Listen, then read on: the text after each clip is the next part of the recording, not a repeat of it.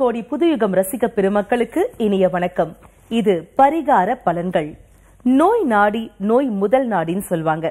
பொதுவாவே நோயின் அடி நாதத்தை கண்டுபிடிச்சு அதற்குரிய சிகிச்சை கொடுத்து அதனை முழுவதுமாய் களைவதுதான் மருத்துவம். ஜோதிடமும் அதே மாதிரி தாங்க வாழ்க்கையில இருக்கக்கூடிய பிரச்சனைகளின் அடி நாதத்தை கண்டுபிடிச்சு அதற்கு உரித்தான பரிகாரம் செஞ்சு அதனை முழுவதுமாய் களைவதுதான் சிறந்த ஜோதிடம். அந்த அற்புதமான ஜோதிடம் குறித்த நிறைய விளக்கங்களை நம்மிடையே பகிர்ந்துக்கிறதுக்காகவே இங்க வருகை தந்திருக்காரு சர்வ மத ஜோதிட மகரிஷி எஸ் ஆர் ஜே ராஜயோகம் டாக்டர் கே ராம் அவர்கள். பரிகாரங்கள் குறித்த உங்களுடைய சந்தேகங்களை நீங்க எங்களுக்கு வாட்ஸ்அப் பண்ணலாம். வாட்ஸ்அப் பண்ண வேண்டிய எண்கள் double nine four zero four three one three double seven அல்லது double nine five two double nine triple one eight சாரை நேர சந்திக்கணும்னா மட்டும் இந்த நம்பர்ஸ்க்கு கால் பண்ணுங்க. அப்பாயின்மெண்ட் ஃபிக்ஸ் பண்ணுங்க. சாரை நேர்ல வந்து பாருங்க. சிறப்பான வாழ்க்கை வாழுங்க. உங்களுடைய சந்தேகங்களை நீங்க எங்களுக்கு மெயில் பண்ணலாம். பண்ண வேண்டிய மெயில் ஐடி பரிகார பலன்கள் அட் ஜிமெயில் டாட் காம் வாங்க நேர்களே சாரை சந்திக்கலாம். வணக்கம் சார் ஓம் தத்பருஷாய வித்மகே மக்கரதுண்டாய தீமகி தன்னோ தந்தி பிரஷோதயா ஓம் ஆதித்யாயஷ சோமாய மங்களாய புதாயஷ குரு சுக்கர பெட்ச ராகவ கேதவ நமக. உலகெங்கும் வாழும் புது யுகம் நேயர்களுக்கு ராஜயோக அன்பு வணக்கம். நிகழ்ச்சியில் பயணிக்கும் ஒவ்வொருவருக்கும் குலதெய்வாசையும் நவகிரக அனுகிரகமும் முழுமையாக கிடைக்க வேண்டிய பிரார்த்தனையோடு உங்கள் ராஜயோகம் டாக்டர் கே. ராம். சார் பொதுவாவே மக்கள் வந்து எதுக்கு பயப்படுறாங்க? ஜாதகம் பார்த்து தோஷம் இருக்கு அப்படின்னு சொன்னா மக்கள் மனசுல ஒரு பயம் ஏற்படும் சார். அந்த தோஷங்கள்ல பாத்தீங்கன்னாக்கா பல வகைகள் உண்டு. அதுல குறிப்பா எல்லாரையும் மிரட்டுற ஒரு தோஷம் அப்படின்னே இதை சொல்லலாம். அதுதான் கால சர்ப தோஷம். இந்த கால சர்ப தோஷம் என்றால் என்ன? அதற்கு உரித்தான பரிகாரமும் எங்களுக்காக சொல்லுங்க சார். பொதுவாகவே காலசர்ப்ப தோஷம் அப்படிங்கிறது சாஸ்திர ரீதியாக எந்த ஒரு ஜாதகத்தில் சர்ப கிரகம் என்று சொல்லக்கூடிய ஷாயா கிரகங்களாக இருக்கக்கூடிய ராகு பகவானுக்கும் கேது பகவானுக்கும் இடையில மற்ற ஏழு கிரகங்கள் இருந்ததுன்னு வைங்களேன். அதாவது ஒரு ஜாதகத்தில் இந்த ராகு அல்லது கேது பகவானுக்கு இடையில மற்ற ஏழு கிரகங்கள் அடங்கி இருந்தது அப்படின்னா அந்த ஜாதகம் கால சர்வ தோஷம் உள்ள ஜாதகமாக சாஸ்திரம் சொல்லி வச்சிருக்கு. இந்த காலசர்ப்ப தோஷம் அப்படிங்கிற விஷயத்துக்காக நம்ம நிறைய பயப்பட வேண்டியதில்லை. ஏன்னா இந்த காலசர்ப்பம் உள்ள ஜாதகத்துக்கு வந்து சின்ன சின்ன காரியங்கள் சின்ன சின்ன தடைகள் ஏற்படும் அப்படிங்கிற விஷயத்தை மட்டும்தான் சாஸ்திரம் சொல்லி வச்சிருக்குது. உதாரணமாக சின்ன வயசில் வந்து கல்வி தடை ஏற்படும். சின்ன வயசில் தான் கல்வி வேணும். ஆனால் கல்வி தடை ஏற்படும். அதே வய- அதே மாதிரி சிறு வயது திருமணம். அதாவது நல்லா கவனிக்கணும். அந்த காலத்தில் ஏழு வயது பத்து வயது பதிமூன்று வயதில் திருமணம் பண்ணக்கூடிய ஒரு சூழல் இருந்துட்டு இருந்தது. அதற்காக காலசர்ப்ப தோஷத்துக்கு பரிகாரம் பண்ண வேண்டிய அல்லது ராகுக்கு உண்டான பிரீதி பண்ண வேண்டிய ஒரு அமைப்பு இருந்துகிட்டு இருந்தது. இப்போ வந்து திருமண வயதே வந்து காலம் கடந்து பண்ணக்கூடிய அமைப்பில் இருக்கிறதுனால கண்டிப்பாக இந்த காலசர்ப்ப தோஷம் பாதிக்காது அப்படிங்கிற விஷயத்தை தெரிஞ்சுக்கலாம்.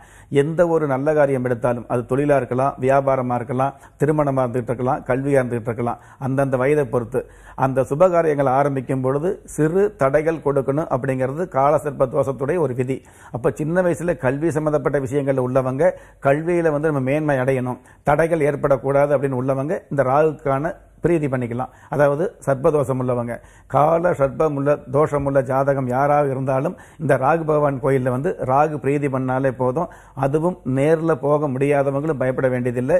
உங்களுடைய வீட்டுக்கு பக்கத்தில் இருக்கக்கூடிய துர்க்கையம்மன் கோயிலில் லெமன் விளக்கு ஏற்றி அர்ஜனை அதாவது எலுமிச்சம்பழம் விளக்கு ஏற்றி அர்ஜனை பண்ணாலே போதும். இந்த சர்ப்பதோஷத்திலிருந்து சர்ப்பதோஷ தடைகளிலிருந்து உங்களை தற்காத்துக்க முடியும் அப்படிங்கிற விஷயத்தை சாஸ்திரம் சொல்லுது. பொதுவாகவே சர்ப்பதோஷம் அப்படின்னா ராகு பகவானுக்கும் கேது பகவானுக்கும் இடையில மற்ற கிரகங்கள் இருந்தது அப்படின்னா அந்த ஜாதகம் சர்ப்பதோஷம் உள்ள ஜாதகமாக சாஸ்திரம் சொல்லி வச்சிருக்கு. ஓகே சார் இப்போ வந்து அர்ச்சனை பண்ணா கர்ஜனையான வாழ்க்கை வாழலாம் அப்படின்னு சொன்னீங்க. எனக்கு ஒரு சந்தேகம் சார் இப்போ வந்து காலசர்ப தோஷம் இருக்கு இல்ல இந்த நாகதோஷம் இருக்கு சர்பதோஷம் இருக்குனாக்க மொத்தமா ஹோல்சேல்ல பல்கா வந்து பரிகாரம் பண்றாங்களே சார் இது எந்த அளவிற்கு தனி மனிதனுக்கு வந்து அவ்வளவு எஃபெக்ட் கொடுக்கும்? பொதுவாகவே உங்களுடைய ஜாதகத்தை பொறுத்து இப்ப கால சர்ப்ப தோஷம் அப்படிங்கிறது இந்த சர்ப்பதோஷ சர்ப்ப கிரகங்களுக்கு இடையில மற்ற கிரகங்கள் இருக்கும் பொழுது அந்த ஜாதகம் கால சர்ப்ப தோஷம் உள்ள ஜாதகமா சாஸ்திரம் சொல்லி வச்சிருக்குது. அதாவது கருணாகம் முதலாக சென்னாகம் ஈராக நவகிரகம் இருக்க காணில் நாலெட்டு வயது வரை கூறப்பா யோகமில்லை அப்படிங்கிற விஷயத்தை சாஸ்திரம் சொல்லி வச்சிருக்குது. அப்போ இந்த ராகு பகவானுக்கும் கேது பகவானுக்கும் இடையில மற்ற கிரகங்கள் இருக்கும் பொழுது அந்த ஜாதகருக்கு முப்பது முப்பத்தி ரெண்டு வயசு வரைக்கும் எந்த காரியமாக இருந்தாலும் தடை ஏற்படும்ங்கிற விஷயத்தான் சொல்லி வச்சிருக்கிறது தவிர்த்து அந்த காரியத்தை நடத்த முடியாது அதில் ஜெயிக்க முடியாது அப்படின்னு சொல்ல கிடையாது.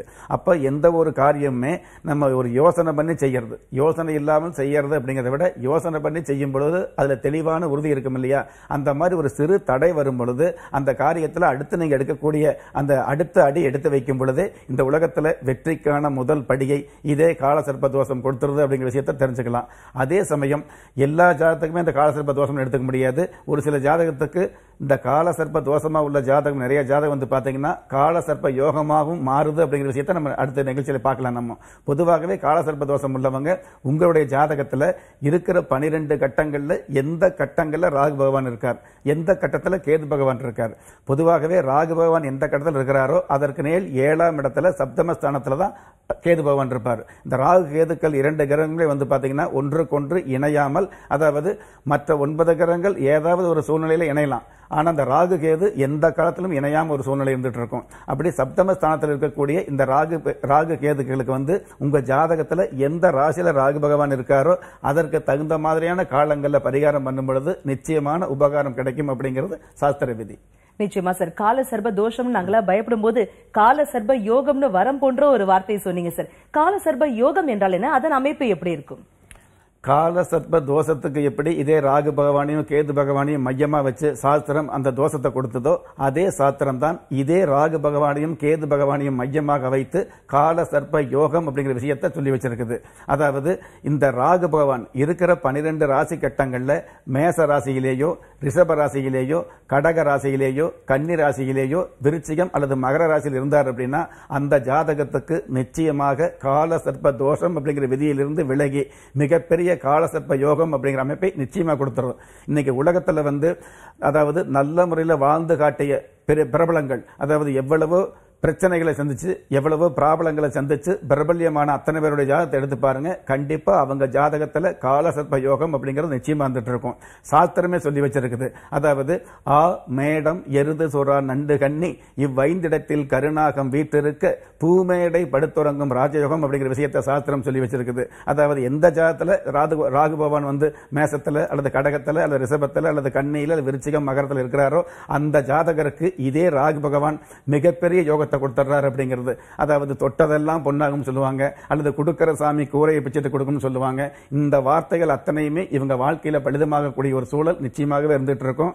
எந்த ஜாதகத்துல காலசர்ப்ப யோகம் இருக்குதோ அந்த யோகம் உள்ள ஜாதகத்துக்கு கல்வி தடை ஏற்படாது திருமண தடை ஏற்படாது வியாபாரத்துல தடை ஏற்படாது தொழில் ரீதியான வகையில் தடை ஏற்படாதுங்கிற விஷயத்தையும் நாம நிச்சயமாகவே தெரிஞ்சுக்க முடியும்.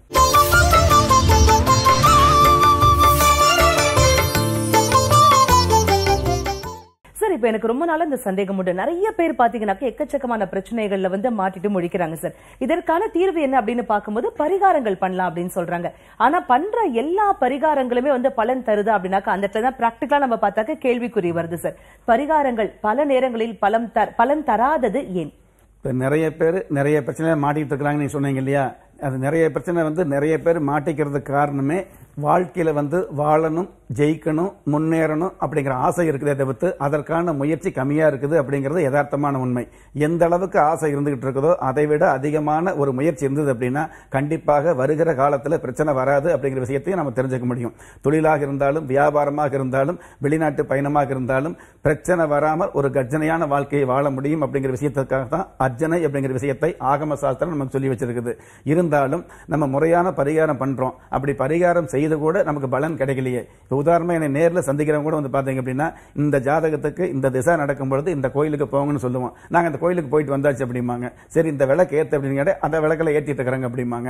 அல்லது இந்த அர்ச்சனை மாதிரி பண்ணுங்க இந்த தானம் பண்ணுங்க அப்படின்னா அது நிறைய தானம் பண்ணிட்டு இருக்கிறேன் அப்படிம்பாங்க. இதுவெல்லாம் வந்து பொதுவான அதாவது அந்த திசை நடக்கக்கூடிய விஷயத்துக்காக அல்லது அந்த ராசிக்கு உண்டான அல்லது அந்த தோஷத்துக்கு உண்டான பொதுவான பரிகாரங்கள். ஆனால் உங்களுடைய ஜாதகத்தில் நடக்கக்கூடிய திசை அந்த திசா அந்தரம் அந்த திசா புத்தி மற்ற கிரகங்கள் இருக்கக்கூடிய வர்க்கோத்தமம் எல்லாவற்றுக்கும் மேலாக பஞ்சம ஸ்தானத்தில் இருக்கக்கூடிய கிரக நிலைகள் எந்த ஒரு ஜாதகத்தில் ஒன்று ஐந்து ஒன்பது என்று சொல்லக்கூடிய திரிகோண ஸ்தானங்களில் கிரக அமைப்பு இருந்துகிட்டு இருக்குதோ திரிகோண ஸ்தான கிரக அமைப்பை கையில் எடுத்து அதற்கு தகுந்த மாதிரியான மந்திரங்களை உச்சாடனம் பண்ணி அதற்கு தகுந்த பரிகாரத்தை முக்கியமான திதிகளில் பண்ணணும். இந்த திதிகள் அப்படிங்கிற வார்த்தை எதுக்காக சொல்றோம் அப்படின்னா அந்த காலத்தினுடைய தேவ சாஸ்திரமே சொல்லி வச்சிருக்குது முக்கியமான விதியை. வெல்லக்கூடிய அமைப்பு சில திதிகளுக்கு இருந்துகிட்டு இருக்கிறதாக சாஸ்திரம் சொல்லி வச்சிருக்கு. அதனால உங்களுடைய ஜாதகத்தில் வரக்கூடிய அந்த அந்த மாதிரியான பிரச்சனைகளுக்கு அந்த மாதிரியான தோஷங்களுக்கு எந்த மாதிரியான திதியில் இந்த பரிகார பூஜை ஆரம்பிக்கணுங்கிற விஷயத்தை உங்கள் ஜாதகத்தை பார்க்கும்போது தெரிஞ்சுக்கலாம். அப்படி அந்த ப- பரிகார பூஜை ஆரம்பிக்கும் பொழுது அதில் பிரசன்னம் அப்படிங்கிற சாஸ்திரத்தை முறைப்படுத்தி பிரசன்னம் பார்த்து நீங்கள் பண்ணக்கூடிய சொல்லக்கூடிய செய்யக்கூடிய பூஜை புனஸ்காரங்களுக்கு நிச்சயமான நிவர்த்தி கிடைக்குது அப்படிங்கிறது சாஸ்திர ரீதியான சத்தியமான உண்மையாக இருந்துட்டு இருக்கும் நிச்சயமா சார் ஆனா இப்ப ஜாதகத்துக்கு வந்து இவ்வளவு முக்கியத்துவம் கொடுக்கிற நம்ம நாட்டுல தான் பாத்தீங்கன்னாக்க பிரச்சனைகளும் அதே அளவுக்கு அதிகமா இருக்கு இல்லைங்களா? ஒவ்வொரு மனிதனுடைய டே டு டே லைஃபே பாத்தீங்கன்னாக்க ரொம்ப கஷ்டமான ஒரு சூழல்ல தான் இருக்காங்க. ஆனா மேலை நாடுகள்ல பாத்தீங்கன்னாக்க அந்த அளவுக்கு அவங்க ஜாதகத்துக்கு முக்கியத்துவம் கொடுக்கறதும் கிடையாது. நீங்க சொல்ற திதியெல்லாம் அவ்வளவா பாக்குற மாதிரி எனக்கும் தெரியறது இல்ல சார் ஆனா அவங்க வந்து ரொம்ப ஈஸி லைஃப் வாழறாங்களே அது எப்படி? அதாவது எந்த ஒரு விஷயத்துக்கு நான் முன்னாடி சொன்ன மாதிரி ஆசைப்படுறதுக்கு மேல முயற்சி அப்படிங்கிற பங்கு அதிகமாக இருந்துட்டு இருக்குது. ஒன்று அதே சமயம் நம்ம ஆசைப்படுறது ஒரு ஒரு பிஸ்னஸ் பல ஒரு தொழில் ஒரு வியாபாரம் ஆரம்பிச்சதுக்கப்புறம் நம்ம வந்து அதில் வந்து முதல்ல இருந்த முயற்சி இருக்கிறது இல்லை நம்ம வியாபாரம் ஆரம்பிச்சிட்டோம். நல்லா போயிட்டு இருக்கு அப்படிங்கிற அளவுக்கு நம்ம நினைச்சிட்டு இருக்கிறோமே தவிர்த்து திடீர்னு எதிர்மறையா திரும்பிச்சு அப்படின்னா என்ன வழிவகை அப்படிங்கிற விஷயத்தை யோசனை பண்ணி முன் எச்சரிக்கையோடு முன் யோசனையோடு தொழில் பண்ணும் பொழுது கண்டிப்பாக பிரச்சனை வருவதற்கு பிரச்சனையே வராதுன்னு சொல்ல முடியாது. பிரச்சனை வருவதற்குண்டான வாய்ப்புகள் கம்மி அப்படிங்கிற விஷயத்தை நம்ம தெரிஞ்சுக்கலாம். வெளிநாட்டில் வந்து இந்த சம்ம இது மாதிரி சம்மந்தப்பட்ட விஷயங்களுக்கு அதிகமான முக்கியத்துவம் கொடுக்கறது இல்லை அப்படிங்கிற விஷயத்தை நம்ம செய்ய முடியாது. ஏன்னா என்னுடைய பயணங்களே வெளிநாட்டு பயணங்கள் தான் அதிகமாக இருந்துகிட்டு இருக்குது. அதனால வெளிநாடுகள் வந்து பார்த்தீங்க அப்படின்னா முன்கூட்டியே நம்ம என்ன பண்றோம் அப்படின்னா நம்ம நாட்டுக்கும் வெளிநாட்டுக்கு உண்டான ஒரு முக்கியமான சின்ன ஒரு வேறுபாடு என்னன்னா நம்ம வந்து பிசினஸ் அதாவது தொழில் அல்லது வியாபாரம் அல்லது திருமணம் சம்பந்தப்பட்ட விஷயங்களை ஆரம்பிச்சுட்டு அதில் பிரச்சனை வந்து அந்த பிரச்சனை வந்து பூதாகாரமாக கிளம்பி அதில் எந்த வகையிலும் முடிவு கிடைக்காத பொழுது அதுக்கப்புறம் பழைய ஜாதகத்தை தூசு தட்டி எடுத்துகிட்டு போய் பார்த்து ஜோசியர் ஏதாவது சொன்னால் செய்யலாம்னு போகிறோம் ஆனால் அவங்க ஒரு தொழிலோ ஒரு வியாபாரமோ ஆரம்பிக்கிறதுக்கு முன்னாடியே அந்த வியாபாரம் ஆரம்பித்தா எத்தனை வருஷத்துக்கு நல்லா இருந்துகிட்டு இருக்கும். இந்த ஜாதகத்துக்கு இந்த வியாபாரம் ஆரம்பிக்கலாமா? அப்படி வியாபாரம் ஆரம்பிக்கணும் அப்படின்னா யாருடைய பெயரில் ஆரம்பிக்கலாம். அப்படி யாருடைய பெயரில் ஆரம்பித்தாலும் அதனுடைய பெயர் என்ன என்ன வரணும்? விதி எண் என்ன வரணும்? எந்த நாளில் ஆரம்பிக்கலாம்? எந்த திதியில் ஆரம்பிக்கலாம் இந்த எந்த கண்ட்ரியில் ஆரம்பிக்கலாம் இந்த மாதிரி பல்வேறு விஷயங்களை தெரிஞ்சுக்கிட்டு அந்த குறிப்பிட்ட திதியை அவங்க தவற விட்டால் கூட அந்த குறிப்பிட்ட திதியில் வந்து சிறிய அளவாவது அதாவது வியாபாரம் அப்படிங்கிற நமஸ்தமாவது பண்ணிக்கிறாங்க ஒரு சடங்காகவாது அப்படி முறையாக பண்ணும் பொழுது பின்னாடி பிரச்சனை வருவதற்கே வாய்ப்பு இல்லாமல் இருந்துகிட்டு இருக்கும். நம்ம பிரச்சனை வந்ததுக்கு அப்புறம் தான் முதல்ல வந்து தெய்வத்தை நம்ப மாட்டோம் ஜாதகத்தை நம்ப மாட்டோம் சாஸ்திரத்தை நம்ப மாட்டோம். நமக்கு நாமளே பெரிய பெருசாக நினச்சிக்கிட்டு சில விஷயங்களை வந்து நம்ம அனுமானமாக செஞ்சு பார்ப்போம். அதில் வந்து போனால் போகிற போக்கில் வந்து ஜெயிச்சா சந்தோஷமாக இருந்துக்குவோம். ஜெயிக்க முடியல அப்படின்னா அடுத்த விஷயத்தை யோசனை பண்ணி பார்ப்போம். இப்படி ஒவ்வொரு முயற்சியும் எடுத்து பார்க்குறோம். எந்த முயற்சியும் பலன் கொடுக்காதப்ப சாமி கும்பிட்டு பார்க்குறோம். அப்புறம் தானம். தானம் கூட மனசார பிரதிபலனை எதிர்பார்க்காம நம்ம தானம் செய்கிறது இல்லை இந்த தானம் செஞ்சா அடுத்த வாரம் வெற்றி வரும். இந்த பிசினஸ் நல்லா வரும். பிசினஸ் இருக்கக்கூடிய தடைகள் விலகும் அப்படிங்கிற ஒரு விஷயத்தை எதிர்பார்த்து தான் தானம் பண்றோம். எந்தவித எதிர்பார்ப்பும் இல்லாமல் பண்ணக்கூடிய தானங்களுக்கு மிகப்பெரிய யோகங்கள் இருக்கிறதாக அந்த காலத்திலிருந்து இந்த காலத்து வரைக்கும் சாஸ்திரம் சொல்லி வச்சிருக்குது. நீங்க செய்யக்கூடிய தானத்தில் எதிர்பார்ப்பு இல்லாமல் இருந்தால் அந்த தானத்தை கூர்ந்து கவனிக்கிற ஒரு மிகப்பெரிய அமைப்பு தேவர்களுக்கு இருக்கக்கூடிய சிறப்பாகவும் இருந்துட்டு இருக்குங்கிற விஷயத்தை இந்த நிகழ்ச்சியில நம்ம தெரிஞ்சுக்கலாம். நிச்சயமா சார் இப்போ ஒரு மனிதன் ரொம்ப நல்லா சிறப்பான வெற்றி வாழ்க்கையை வாடுறான் பணம் வந்து பண மழை கொட்டுதுன்னே வச்சுப்போமே. அவங்கள பாக்குறவங்க என்ன சொல்வாங்க? அவனுக்கு என்னப்பா சுக்கரதசை அடிக்குது அப்படின்னு சொல்லுவாங்க ஆனா ஒரு ஜாதகத்தில் குட்டி சுக்கரன் இருந்தால் அவருடைய வாழ்க்கை எப்படி இருக்கும் சார் பொதுவாகவே ஒருவர் திடீர்னு ஆடம்பரமா அதாவது நல்ல வாழ்க்கை வாழ்றார் அப்படிங்கிறத விட சுகபோகமாக ஆடம்பரமாக அதி அற்புத வாழ்க்கை வாழ்ந்தார் அப்படின்னா சாதாரணமாகவே ஜாதகம் தெரியாத நபர்கள் கூட சொல்லக்கூடிய வார்த்தை அவருக்கு என்ன சுக்கரதசை சுக்கரதசை அடிக்குது அப்படின்னு சொல்லுவாங்க. அந்த சுக்கரதசை யாருக்கு வந்தாலும் நல்லது பண்ணுது அப்படிங்கிறது பொதுவான உண்மையா இருந்துட்டு இருக்கலாம். ஆனால் அந்தந்த ஜாதகத்தை பொறுத்து ஒருவருடைய ஜாதகத்தில் சுக்கர பகவான் ஆட்சி அல்லது உச்சம் அல்லது நட்பு சம்பந்தப்பட்ட விஷயங்கள் இருந்துட்டு இருந்தார் அப்படின்னா நிச்சயமாக அந்த சுக்கர பகவான் தொடர்ந்து இருபது வருடங்களுக்கு மிகப்பெரிய மாட மாளிகை கூட கோபுரங்கள் ஆடம்பரமான வாகன வசதிகளை கொடுக்கிறாருங்க. அதுவே நீங்க உங்க ஜாதகத்துல சுக்கர பகவான் நல்ல இடத்துல இருந்தால் கூட சின்ன வயசுல வந்தார் அப்படின்னா இப்ப இருக்கிற ஒன்பது கிரகத்தோட திசைகள் வந்து எந்தெந்த வயசுல வரும்பொழுது எந்த மாதிரியான நன்மைகளை கொடுக்கும் அப்படிங்கிற ஒரு பொதுவான விதி இருந்துட்டு இருக்குது. சுக்கரதசை வந்தாலே நல்லது அப்படி கிடையாதுங்க. சுக்கரதசை எந்த வயசுல வந்தா நல்லா இருக்கும் அப்படின்னா சின்ன வயசுல வரும்பொழுது அதாவது உங்களுடைய முப்பது வயசுக்கு முன்னாடியோ இருபது வயசுக்கு முன்னாடி சுக்கரதசை வந்தது அப்படின்னா அந்த சுக்கரதசை யோகமாகவே இருந்தால் கூட குட்டி சுக்கரன் குடியே கெடுக்கும் அப்படின்னு கொடுத்து கொடுத்து கெடுத்துக்கிட்டு இருக்கும் அப்படிங்கிறது தான் உண்மையான விதி. அதே சுக்கரதசை ஒருவருக்கு இருபத்தி மூன்று அல்லது இருபத்தி ஏழு அல்லது முப்பது வயசுக்கு மேல வந்து வைங்களேன் ஐம்பது வயசுக்குள்ளாக. முப்பது வயசுலேருந்து ஐம்பது வயதுக்குள்ளாக சுக்கரதசை வந்தது அப்படின்னா மிகப்பெரிய ஆடம்பரத்தை அனுமானிக்க முடியாத மிகப்பெரிய யோகங்களை நிச்சயமாக சொத்து சுகங்களை வழங்குறார் அப்படிங்கிற விஷயத்தை நம்ம தெரிஞ்சுக்கலாம்.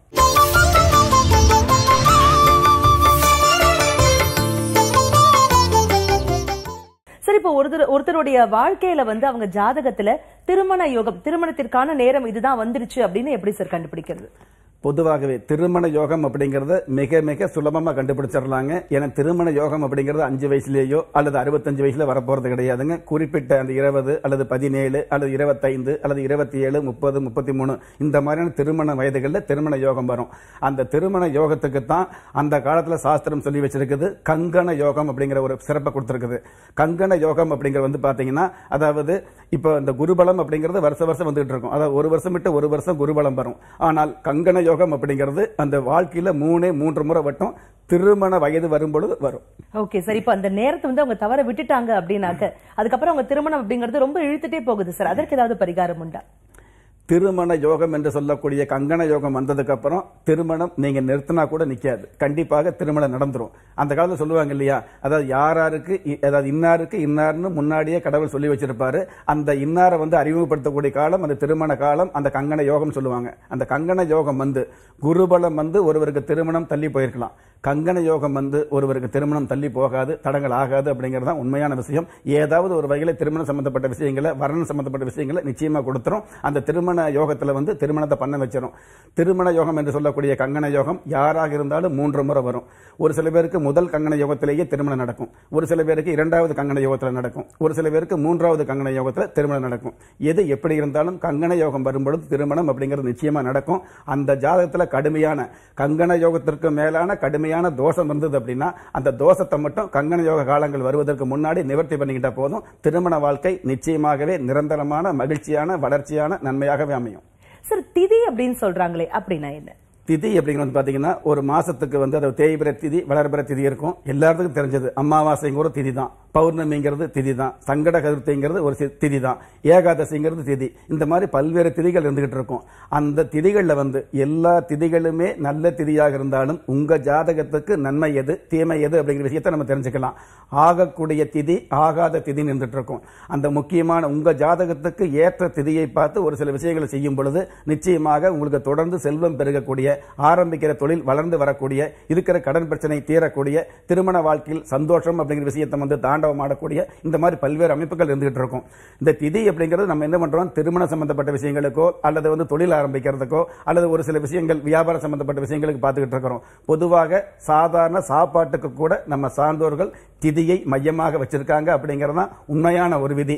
அதாவது அமாவாசை என்று அசைவ உணவு சாப்பிட வேண்டாம் அப்படிங்கிற விஷயத்தை ஏன் சொன்னாங்க அப்படின்னா அமாவாசை என்று அசைவ உணவு சாப்பிடும் பொழுது தேவையில்லாத எதிர்மறையான விளைவுகளையும் எதிர்மறையான சிந்தனைகளையும் உங்கள் உடம்புக்கு கொடுத்துக்கிட்டு இருக்கும். உங்களுடைய வயசு சிறுசாக இருக்கும் பொழுது இளமையாக இருக்கும் பொழுது உங்களுடைய உடம்பு திடகாத்திரமா இருக்கும் பொழுது இந்த விஷயங்கள் உங்களை பாதிக்கிறது இல்லை அதுவே நீங்கள் அடிக்கடி அந்த விரதத்தை அந்த சாஸ்திரம் சொன்ன வழிமுறைகளை கையாளாமல் இருக்கும் பொழுது கண்டிப்பாக உங்களுடைய உடம்பு திராணியற்று போகும் பொழுது சின்ன சின்ன கிருமிகள் கூட உங்களை பாதிக்கக்கூடிய ஒரு சூழ்நிலையை ஏற்படுத்திவிடும்.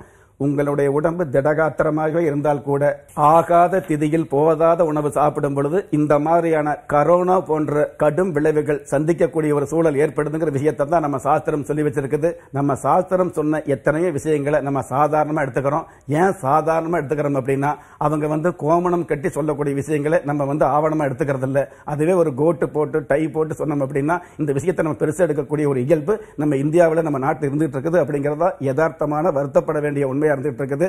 சாதாரண சாப்பாடு சாதாரண படுக்கை தூங்குறத கூட இந்த பக்கம் தலை வச்சு தூங்கு இந்த பக்கம் கால் நீட்டி தூங்கு அப்படிங்கிறது இந்த நேரத்துக்கு சாப்பிடுன்னு மருத்துவம் சொல்லுது எந்த நேரமாக இருந்தாலும் பசிச்சா சாப்பிடு அப்படின்னு சாஸ்திரம் சொல்லுது. அது கூட எந்த திதியில எந்த சாப்பாடு சாப்பிடலாம் அப்படிங்கிற விஷயத்த சொல்லுது. ஒரு சில திதிகளில் சாப்பிடவே வேண்டாம்னு கூட சொல்லி வச்சிருக்குது விரதம் அப்படிங்கிற விஷயத்துல. ஆனா மருத்துவம் வந்து சரியான நேரத்தில் மணிக்கு ஒரு முறை சாப்பிட்டுக்கிட்டே இரு. வயிறு முட்டை சாப்பிட வேண்டாம்னு சொல்லியிருக்குது. சாஸ்திரம் என்ன சொல்லுது? நொறுங்க தின்னால் நூறு வயது அப்படின்னு சாஸ்திரம் சொல்லுது. அதனால எவ்வளவோ விஷயங்கள் ஏருக்கு மாறாக இருந்தால் கூட யதார்த்த வாழ்க்கையில் என்றைக்குமே ஜெயிக்கிறது சாஸ்திரம் மட்டும்தான். சத்தியம் அப்படிங்கிற ஆன்மீகம் மட்டும்தான் அப்படிங்கிற விஷயத்தை இந்த நிகழ்ச்சியில் நம்ம உறுதியாகவே தெரிஞ்சுக்கலாம். நிச்சயமா சார். முன்னோர்கள் நமக்கு வகுத்து கொடுத்த பல விஷயங்கள் பின்னாடி எவ்வளவு அற்புதங்கள் புதைந்து கிடக்கு அப்படின்னு நீங்க சொல்ல சொல்ல கேட்க ரொம்பவே ஆச்சரியமா இருக்கு சார். சார் எனக்கு ரொம்ப நாளா இந்த சந்தேகம். இப்போ தும்மல் விக்கல் இருமல் இதெல்லாம் வந்து மனித இயல்பு இல்லைங்களா? ஆனா ஒரு சுப நிகழ்ச்சி நடக்கும்போது அந்த இடத்துல தும்பவே கூடாது அப்படின்லாம் சொல்றாங்களே சார். இது என்ன நியாயம் சார்? பொதுவாகவே தூசு பறந்துகிட்டு இருந்ததுனாலே தும்மல் வரும் அப்படிங்கிறது இயற்கையான விதி. ஆனால் தூசு பறக்குது எப்படி? இயற்கையோ தும்மல் வருவது எவ்வளவு இயற்கையோ அதே மாதிரி நல்ல விஷயங்களை பேசும் பொழுது அதே தூசு பறந்து அதே தும்மல் வருவதும் ஒரு இயற்கை. அந்த இயற்கை நம்ம தெரிஞ்சுக்கிறது என்னன்னா தும்மல் வரக்கூடாது அப்படிங்கிற விஷயத்தை தடுக்க முடியாது. அந்த தும்மல் வரும் பொழுது சுபகாரியத்தை விஷயத்தை பேசும் பொழுது இந்த மாதிரி தும்மல் வந்தது அப்படின்னா அந்த சுபகாரியத்தில் சிறு தடை இருக்குது. அல்லது சுபகாரியத்தை பற்றி நீங்கள் பேசுறீங்களே தவிர்த்து ஆசைப்படுறீங்களே தவிர்த்து அதற்குண்டான முயற்சி உங்கள்கிட்ட கம்மியாக இருக்குது அப்படிங்கிற விஷயத்தை உணர்த்துவதற்காகத்தான் இறைவன் இந்த இருமல் சம்பந்தப்பட்ட விஷயங்களை சின்ன சின்ன விஷயங்களாக இது ஒரு பிரசன்னம் கூட சொல்லலாம் அந்த மாதிரி கொடுத்துருக்குது. அந்த தும்மல்ல கூட ஆண் துப்புனால் அந்த மாதிரியான தடங்கள் இருந்துகிட்டு இருக்குது. பெண் தும்மனால் நட்டமில்லை அப்படிங்கிற கிராம பழமொழிகள் வந்து பார்த்தீங்கன்னா பெட்ட தும்மனால் நட்டமில்லைன்னு சொல்லுவாங்க. அதாவது பெண் தும்மினால் அதில் கூட நல்லது இருக்குதுங்கிற விஷயத்தை நம்ம அடிப்படை சூட்சமமாக சாதாரண இருமல்ல கூட இவ்வளவு ஒரு இறை பக்தியை ஒரு இறை விஷயத்தை வந்து நமக்கு சாஸ்திரம் சொல்லி வச்சிருக்குதுங்கிறதா யதார்த்தம். பெண்களே வந்து நல்லவையின் ஸ்வரூபம் தான் அப்படின்னு அழகான விளக்கம் கொடுத்தீங்க சார். இந்த வாரம் எங்களுக்காக என்ன பரிகார கோவில் பத்தி சொல்ல போறீங்க? பொதுவாகவே இப்ப யாராக இருந்தாலும் வந்து பாத்தீங்கன்னா திருச்செந்தூர் போலாம்னு சொல்லுவாங்க. திருச்செந்தூர் அப்படிங்கிறது வந்து பொதுவாக மற்ற நாளில் போறதை விட உங்களுடைய ஜாதகத்தில் செவ்வாய் திசையோ அல்லது செவ்வாய் பகவானுடைய ஆதிக்கமோ அல்லது வேறு திசா புத்தி நடக்கும் பொழுது தேவையில்லாத தடங்கள் அல்லது தோஷம் வந்தது அப்படின்னா சின்ன சின்ன பரிகாரமாக திருச்செந்தூர் திருத்தலத்துக்கு போயிட்டு வரலாம். பொதுவாகவே திருச்செந்தூர் போயிட்டு வந்தாலே திருப்பு முனைகள் கிடைக்குது அப்படிங்கிறது தான் யதார்த்தமான விஷயம். உங்களுக்கு இருக்கக்கூடிய கெட்ட விஷயங்களை திருப்பி விடக்கூடிய மிகப்பெரிய மகத்துவம் திருச்செந்தூரில் இருக்குது அப்படிங்கிறதும் யதார்த்தமாக இருந்துட்டு இருக்கோம். அந்த திருச்செந்தூரில் கடலில் குளிக்கும் பொழுது ஒன்பது முறை கிழக்கு பார்த்து சூரியனை பார்த்து நமஸ்காரம் வச்சுக்கிட்டு அதற்கப்புறம் நாளை தீர்த்தம் எடுத்துக்கிட்டு அதற்கப்புறம் முருகப்பெருமாளை தரிசனம் பண்ணிட்டு வெளியில் வந்து அங்கே இருக்கிற யானைக்கு ஏதாவது ஒரு ஆகாரம் வாங்கி கொடுத்துட்டு அதற்கப்புறம் உங்கள் மனசில் அதாவது அந்த இடத்துல உட்கார்ந்து திருச்செந்தூர் ஸ்தலத்தில் உட்கார்ந்து திருச்செந்தூர் திருத்தலம் வந்து பரிகார தலமாகவும் இருக்குது புண்ணிய ஸ்தலமாகவும் வந்துட்டு இருக்குது அந்த பரிகார புண்ணிய தலத்தில் அமர்ந்து கிழக்கு நோக்கி உங்கள் வாழ்க்கையில் இருக்கக்கூடிய கஷ்ட காலங்களை நினைச்சு நீங்க தியானம் வச்சுக்கலாம். அல்லது வாழ்க்கையில வந்து நம்ம அடுத்து இந்த நிலைமைக்கு வரணும் அப்படிங்கிற விஷயத்தை ஒரு போதனையாகவோ அல்லது ஒரு பிரார்த்தனையாகவோ வேண்டுதலாகவோ வச்சுக்கலாம். அப்படி வச்சுக்கும் பொழுது நிச்சயமான ஒரு மேன்மை கிடைக்கக்கூடிய பாக்கியத்தை உணர முடியும். இது வந்து பொதுவான பரிகாரம் தான் திருச்செந்தூர் போயிட்டு வந்த அத்தனை பேர்த்துக்குமே நல்லது நடக்கும் அப்படிங்கிற விஷயத்தை இந்த நிகழ்ச்சியில் நம்ம உறுதியை சொல்ல கிடையாதுங்க. உங்களுக்கு வாழ்க்கையில திக்கு தெரியாமல் இருந்தீங்க அப்படின்னா திக்கற்றவனுக்கு தெய்வமே துணை அப்படிங்கிற வகையில் வகையில் திருச்செந்தூர் கோயிலுக்கு போயிட்டு வந்துட்டு இருக்கலாம். அங்கே திருச்செந்தூர் கோயில் போய் இந்த மாதிரியான ஒரு பிரார்த்தனை வச்சுக்கிட்டு தான தர்மம் பண்ணி கூட உங்களுக்கு நல்லது நடக்கல அப்படின்னா உங்களுடைய ஜாதகத்தை பார்த்து அதற்கு தகுந்த திதிகளில் அதற்கு தகுந்த கிழமைகளில் அதற்கு தகுந்த பரிகாரங்களை அதற்கு தகுந்த பரிகார ஸ்தலங்களில் பண்ணும் பொழுது நிச்சயமான உபகாரம் கிடைக்கும்ங்கிறது தெரிஞ்சுக்கலாம். வேலுண்டு வினை இல்லைன்னு அழகான விளக்கம் கொடுத்தீங்க சார் பொதுவாகவே இன்றைய தலைமுறையினர் பாத்தீங்கன்னாக்கா கண்ணால் பார்ப்பதும் போய் காதால் கேட்பதும் போய் தீர விசாரிப்பதே மெய் அப்படிங்கிற ஒரு சிந்தனையில இருக்காங்க. நம்ம தாத்தா பட்டி சொன்ன சின்ன சின்ன விஷயங்களுக்கு பின்னாடி இவ்வளவு அற்புதங்கள் வந்து புதைந்து கிடக்கு அப்படின்னு எங்களுக்காக ரொம்பவே அதி அற்புதமா பட்டியலிட்டு விளக்கி சொன்னீங்க சார் மிக்க நன்றி. உலகத்துல எவ்வளவோ கெட்டது பண்றவங்க எல்லாம் பொழைக்கும் பொழுது நல்லவங்க பொழைக்க முடியாம போயிடாதுங்கிற விஷயத்தை உங்களுக்கு உறுதிப்படுத்தி ஒரு மனுஷனை யாரு கைவிட்டாலும் ஆன்மீகம் கைவிடாது என்ற என்னுடைய ஆழமான ஆன்மீகத்தை பதிவு செய்து அகில உலகத்தில் உள்ள அத்துண தெய்வங்களின் அனுகிரகமும் ஈரேல் உலகத்தில் உள்ள எல்லா சக்திகளின் ஒட்டுமொத்த ஆசீர்வாதங்களும் உலக மக்கள் அனைவருக்குமே கிடைக்க வேண்டிய பிரார்த்தனையோடும் வாழ்த்துக்களோடும். உங்கள் ராஜ யோகம் டாக்டர் கே. ராம். என்ன நேர்களே இன்றைய பரிகார பலன்கள் நிகழ்ச்சி உங்க எல்லாருக்குமே ரொம்பவே பயனுள்ளதாக அமைந்திருக்கும் நாங்க நம்புறோம். உங்களுடைய சந்தேகங்களை நீங்க எங்களுக்கு வாட்ஸ்அப் பண்ணலாம். பண்ண வேண்டிய WhatsApp numbers double nine four zero four three one three double seven அல்லது double nine five two double nine triple one eight sir நீங்க நேர சந்திக்கணும்னா இதே நம்பர்ஸ்க்கு கால் பண்ணுங்க அப்பாயின்மெண்ட் ஃபிக்ஸ் பண்ணுங்க. சாரை நேர்ல வந்து பாருங்க சிறப்பான வெற்றி வாழ்க்கை வாழுங்க. உங்களுடைய சந்தேகங்களை நீங்க எங்களுக்கு இமெயிலும் பண்ணலாம். பண்ண வேண்டிய இமெயில் ஐடி பரிகார பலன்கள் அட் ஜிமெயில் டாட் காம் மீண்டும் அடுத்த நிகழ்ச்சியில் உங்கள் அனைவரையும் சந்திக்கும் வரை நன்றியும் வணக்கமும் கூறி விடைபெறுவது உங்கள் ஷரண்யா.